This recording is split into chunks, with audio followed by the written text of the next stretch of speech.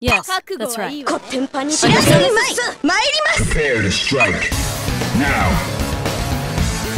Ah! Ah!